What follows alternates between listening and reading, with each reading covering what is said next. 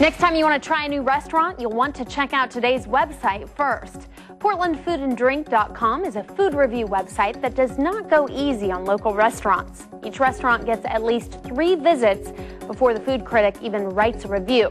Most restaurants are rated on a scale of one to four stars. And the critics on this website do not announce they're eating at a particular restaurant and they pay for their own meal.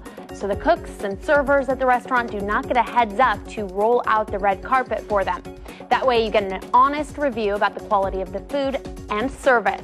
The writers on this site know their food, so even if you don't know where you're headed out for dinner, you're sure to find several places you'll want to try on this website. For a link, log on to our website at kptv.com. I'm Stephanie Kralovich. That's today's Surfing with Steph.